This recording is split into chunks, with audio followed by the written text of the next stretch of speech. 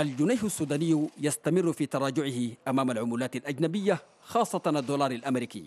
إذ بلغ سعر الدولار الواحد في السوق الموازية أكثر من 21 جنيها بزيادة نحو ثلاثة جنيهات في ظرف أسبوعين فقط مسجلا بذلك انخفاضا لم يسبق له مثيل. تتعدد أسباب هذا التراجع لكن الحكومة التي كانت تعول على رفع العقوبات الاقتصادية في إنعاش اقتصادها وبالتالي تحكمها في سعر صرف العملة تلقي باللائمة على من تصفهم بالمضاربين بالعملات الأجنبية. تجار العملة آه، خارج إطار الأسواق الرسمية يستغلون أي فرصة لإيهام الناس بأن هنالك متغيرات اقتصادية. إذا نظرت ما هو المتغير الذي يجعل الجنيه يتراجع؟ لا متغير. أبو بكر نصر الدين مدير شركة نيو سبوتنيكس للتجارة والتصدير. يقول إن تجارته تأثرت سلبا.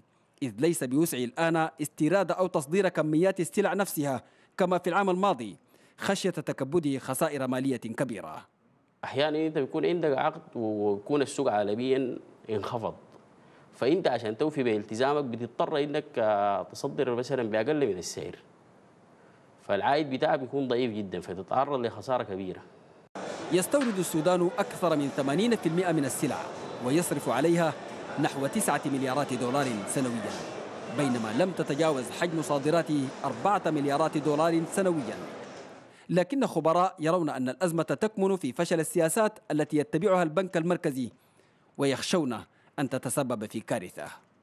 بنك السودان ليست لديه أي سيطرة وليست لديه أي آلية لوقف تدهور الجنيه السوداني. الجنيه السوداني يعني أصبح الآن في ذمة تجار العملة. تعمقت الأزمة الاقتصادية وتراجع سعر العملة الوطنية بفقد البلاد 70% من عائدات نفط جنوب السودان. نحو أربعة مليارات دولار هو حجم التعاملات التجارية التي تتم خارج نطاق النظام المصرفي.